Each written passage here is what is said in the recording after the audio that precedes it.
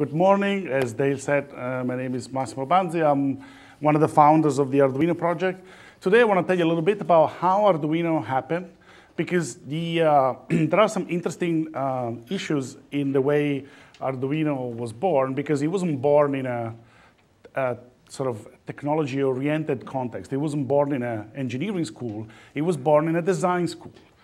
And one of the things that it's interesting is that I'm Italian, and Italy has a big tradition in design. I mean, you probably sort of know Italian design from chairs and tables and that kind of stuff. But there's a whole, there's a lot more that sort of goes around in the whole idea of design thinking. And um, the designers uh, in Italy 50, 60 years ago, they were trying to imagine already how will we, how will we live in the future?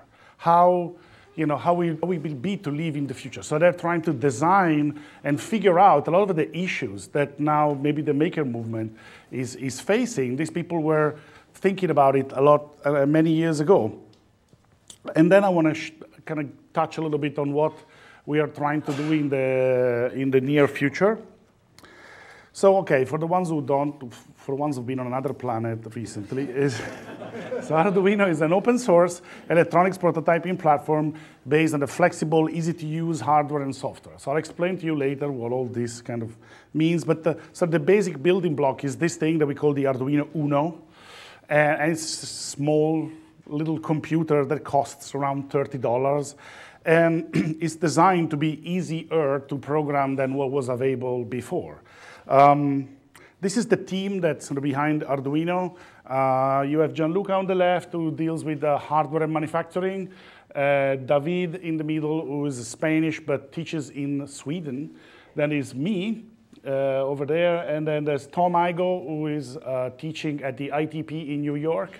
And you've seen some of his students uh, yesterday. And David Mellis is at the MIT Media Lab and he deals with software. So all of us and our interactions sort of make uh, Arduino. Sometimes our interaction are also some sort of conflicts, but you know, it's an interesting multicultural product of like different, different people getting together. And we also, I want to mention Daniela Antonietti, who is like our CFO. She doesn't like to be be in pictures or anything, but she's an incredibly important force that avoids us going bankrupt. So without Daniela, I would probably not be here right now. So the interesting thing, in my opinion, about what, uh, what happened is that I was teaching in this school called the Interaction Design Institute Ivrea. So Ivrea is this little city in the northwest of Italy where this Olivetti company was started and, and existed for almost 100 years. It still exists, but it's kind of the shadow of what it used to be. But it's important because it was one of the first companies in the world to use and adopt design across the line. So the graphic design, the design of the objects, some of the typewriters that Olivetti was making are in Design Museum because they're beautiful, well-designed. Also the way they engineered the whole thing to make it simple. They, in the 50s, they went into computers and they had one of the, probably the first computer that was actually designed by a designer instead of a, an engineer. And so this building here was the R&D building for uh, Olivetti in the 60s. And, they, uh, and the Italian telecom company decided to set up a design school here.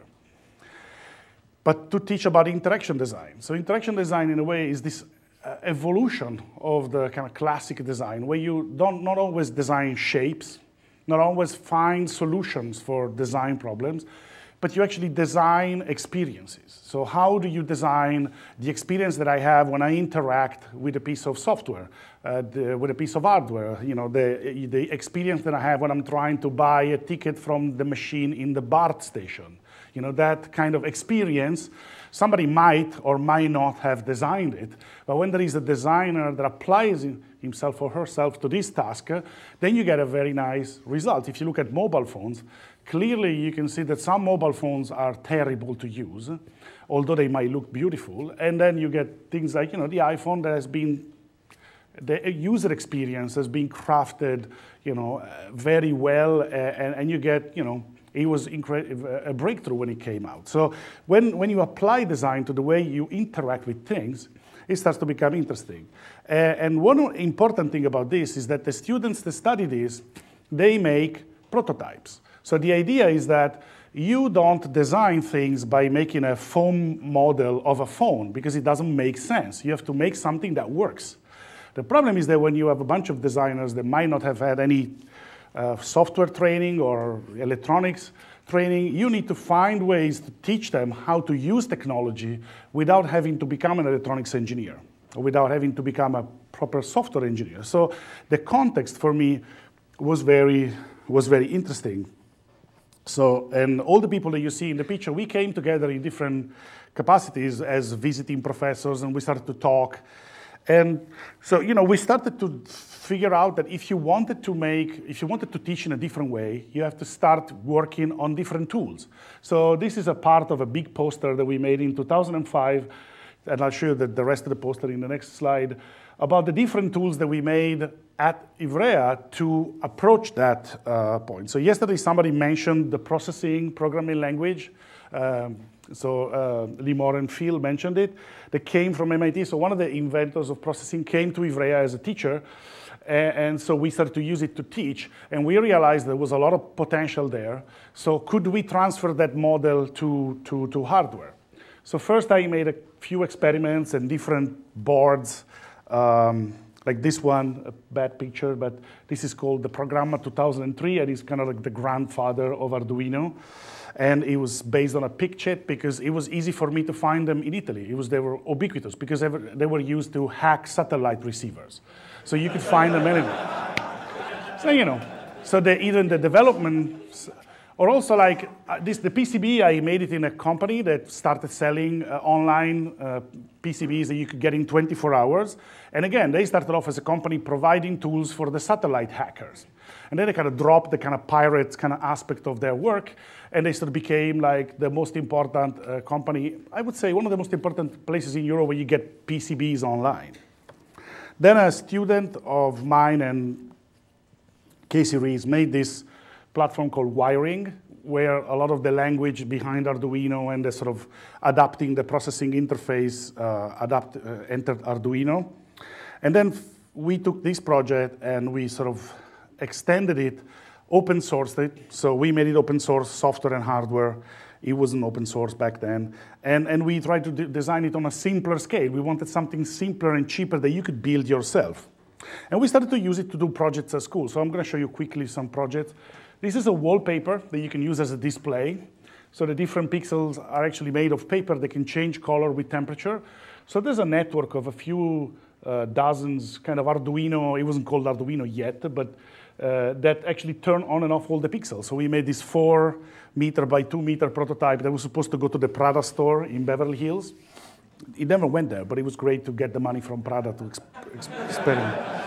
Then we started to make this interactive installation for kids. This is uh, like a virtual fish tank where the kids can interact with kind of fish that's projected from above. I made this exhibition for a fancy sunglasses manufacturer. So, you know, we use this product to teach, but also to make. Uh, uh, some, some of these are missing. So also we made a project for this company called Artemide that makes expensive sort of design lamps in Italy, but we explored interfaces with them. This is a light interface uh, I made in London.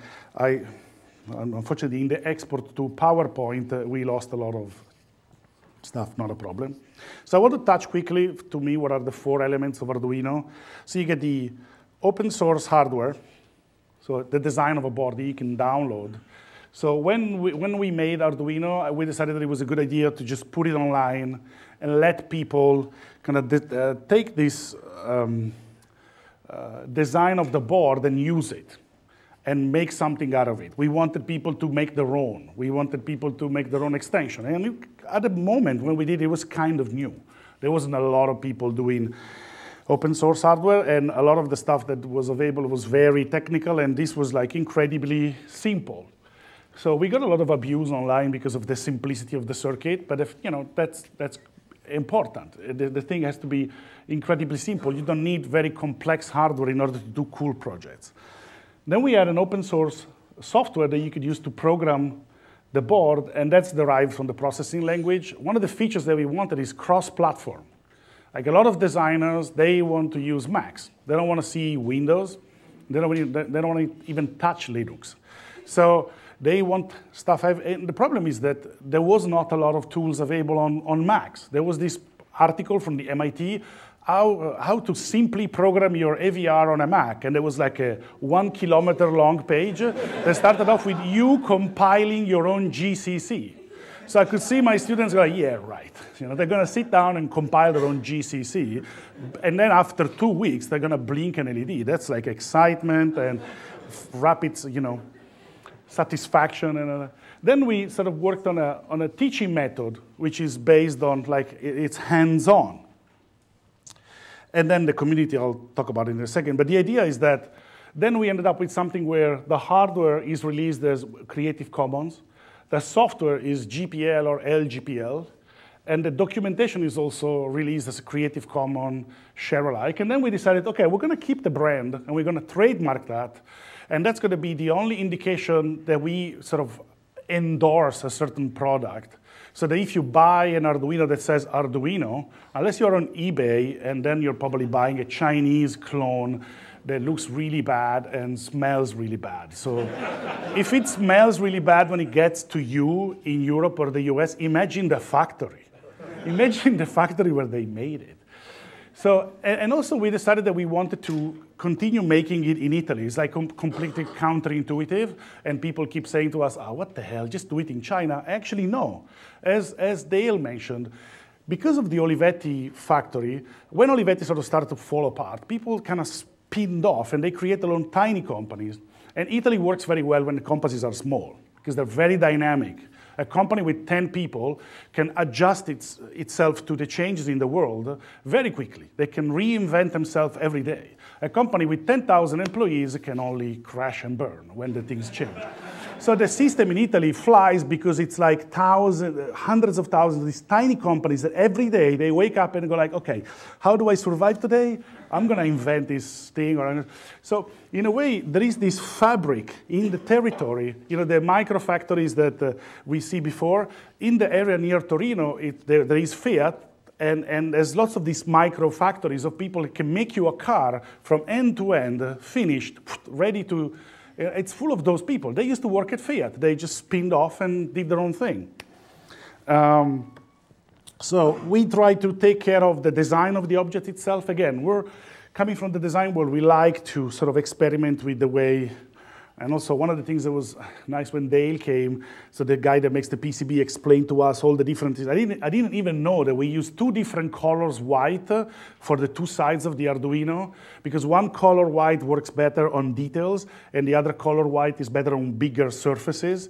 But it's that kind of level of passion and sort of, you know, almost, it's almost pathological passion about your product, you know, thinking that PCBs are the best thing in the world, you know, and talking for hours about it, you know. But that's the kind of like quality that we like from these people we work with.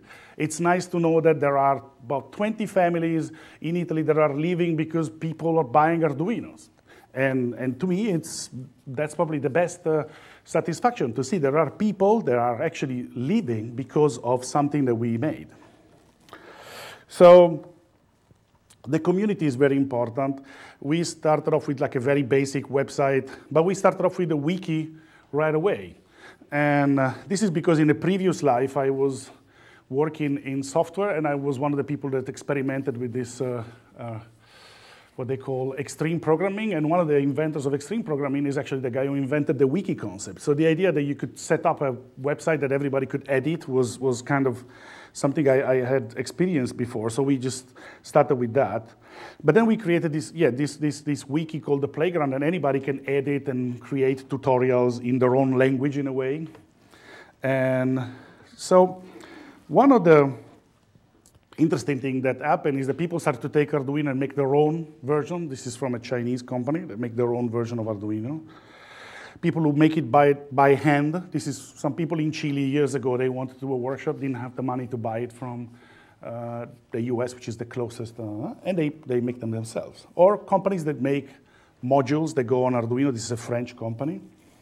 So the whole ecosystem, I'm not going to go into detail, but it's about us sort of designing this stuff and working with manufacturers and the community sort of helping and people um, I'm going to skip a couple of things. And, and collaborating. And the, idea is that you get companies that then start to use Arduino to derive their own things. So you get this, um, Google use it to make the Android uh, ADK, then you get the um, DIY drones.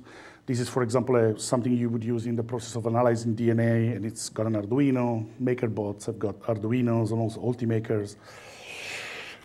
So in a way, we did try to apply design a lot in what we do and the design of the boards themselves and the communication behind it in order to sort of make it less dramatic, less, you know, professional, in a way more playful, and try to start to look at a lot of the little details to make it, in a way, simple for people. We try as much as possible. And also to curate things like this tape that goes around the box, so that to communicate the fact, you know, open source is important. So at Maker Faire, you will see we're going to launch this new Leonardo Arduino and uh, this new Wi-Fi module. And we're, at Maker Faire, we're going to give away for free this new Arduino Due so that people can join our project. The Arduino Due is the new Arduino based on a 32-bit ARM processor. We want people to join. So one of the things that we're working on is this robot system that to me it's interesting as part of the educational strategy. And again, we're making a lot of work to make it, manufacture it in Italy with all the plastic parts uh, designed and engineered in Italy. One thing that is, for me, important in the future is this concept of ob object-oriented hardware.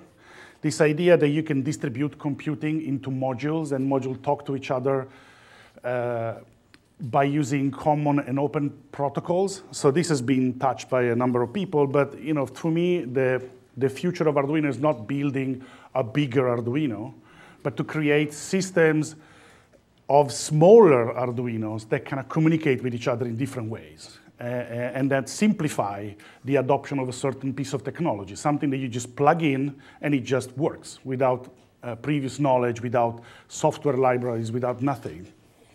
So this is something that we're going to be working more in the future, and I'll have more announcements at the next Maker Faire. Um, so this is the current incarnation of that concept, the TinkerKit that we have been developing since 2006. Modular electronics that you plug, uh, and it sort of takes away the need to know about electronics. And one thing that it's the last thing I want to talk about is that we created this space in Torino that essentially is an Arduino office plus a makerspace plus a fab lab. So it's a combination of different uh, things so that Arduino can basically start to work with local communities.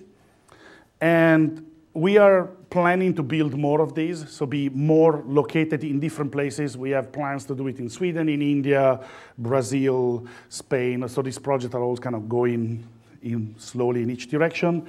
But also one thing that we wanted to do, this is the place, um, is that now we're crowdfunding the creation of 15 of these places in Italy. So we're basically saying to people, give us 100 euros and we'll make one in your, we'll help you make one in your area. Because we learned so much about doing this thing that we want to basically give the opportunity to people to do it in their own community. So we're gonna give them our knowledge.